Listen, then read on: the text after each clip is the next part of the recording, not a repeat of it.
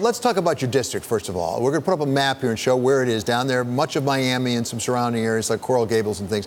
And we'll also put up some facts. Tell us about your district and what the voters really care about in that district.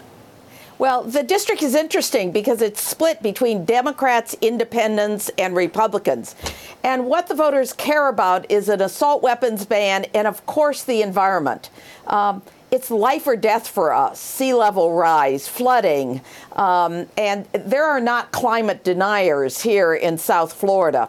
We care deeply about the environment. We also care about immigration reform because we are a city, a community of, uh, of immigrants, and many of our immigrants are now under temporary protective status, and it's necessary to find a pathway to citizenship to all of the undocumented uh, people that are here in South Florida. We have consensus about that here. So it's not hard to represent the people of South Florida because on the environment, on assault weapons ban, on immigration, on education, and of course on health care, there's lots of consensus in this community. So th- those issues sound, if you'll excuse me, uh, very much like democratic issues. Uh, issues that Democrats would really represent. And yet that district or its predecessor has been represented by a Republican for 30 years. Is the district itself changing? The district is changing, but its representation, Ileana Ros-Lehtinen, was more of a moderate. She won with Democratic votes. She could not have held this district without Democratic votes. So her positions on the issues were quite moderate.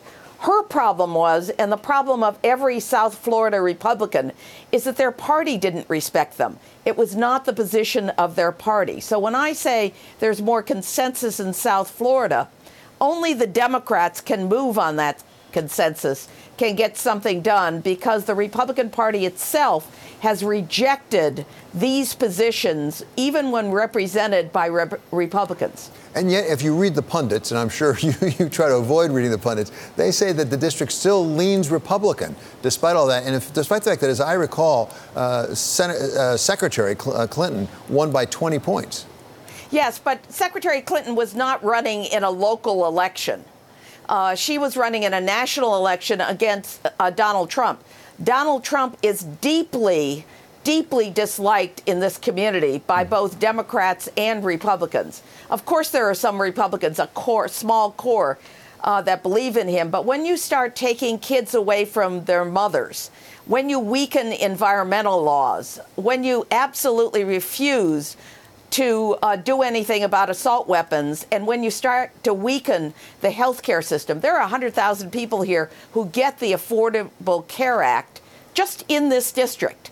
Uh, we have one of the largest enrollments in the country.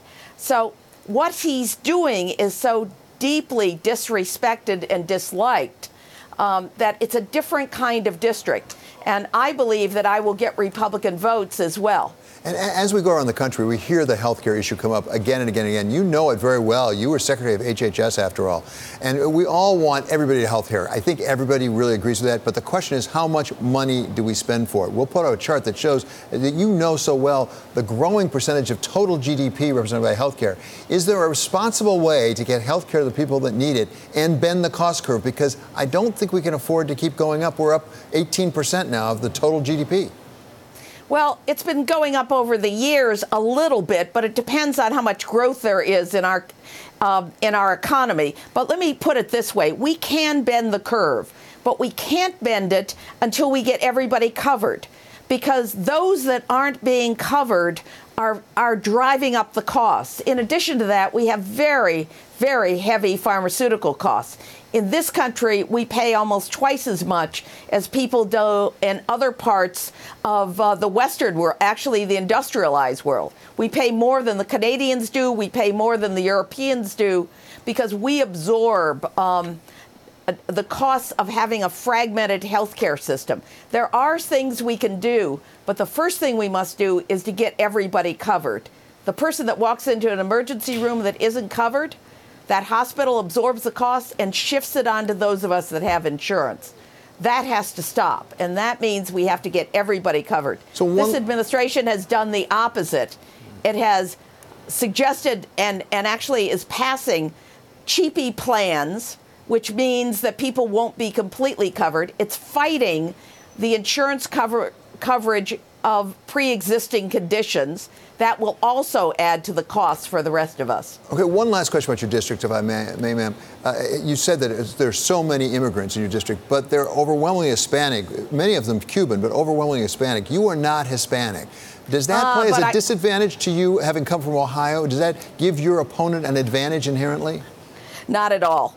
Um, this is a this is a community of immigrants, much like America. Look, if my grandfather had waited a week and gone left Lebanon with his first cousins, I'd be Cuban today. My grandmother actually was an undocumented immigrant who snuck across uh, the Mexican border. She was Lebanese.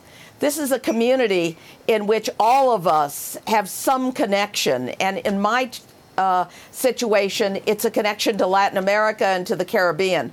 But the community adopts people from different backgrounds, uh, no matter where they came from. The community knows me very well and knows that I'm a fighter, so I don't consider it uh, a disadvantage.